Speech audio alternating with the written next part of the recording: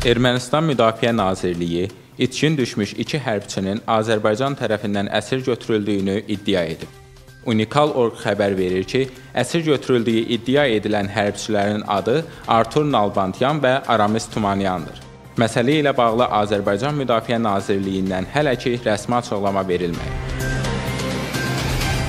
Azərbaycan 30 illik münaqişəyə son qoydu, hərbi siyasi yollarla özünün ərazi bütövlüyünü və tarixi ədaləti bərpa etdi. Dağlıq Qarabağ münaqişəsi tarixə qovuşdu. Bu sözləri Azərbaycan Respublikasının prezidenti İlham Əliyev Qoşulmama Hərəkatının Xarici İşlər Nazirlərinin onlayn formatda aralıq konfransı zamanı çıxışında deyib. Lakin belə görünür ki, Ermənistan tərəfi hələ də bu reallıqla barışmır. Şuşada baş verən insident, Naxçıvanın atəşə tutulması və digər təxribatlar bunu deməyə əsas verir. Məsələ ilə bağlı sualları cavablandıran politoloq Zaur Məmmədov bildirib ki, Nikol Paşinyan seçki qabağı və seçkidən sonra təxribatlara davam edir.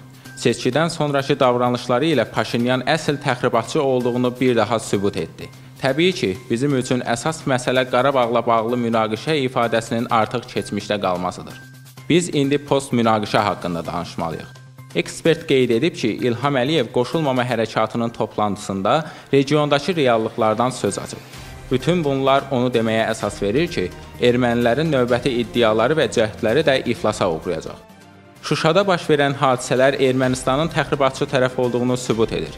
Əgər həqiqətən kimlərsə Ermənistanla birgə Xankəndi və ətraf rayonlarla bağlı təxribat törədərsə, o zaman yeni müharibənin şahidi ola bilərik.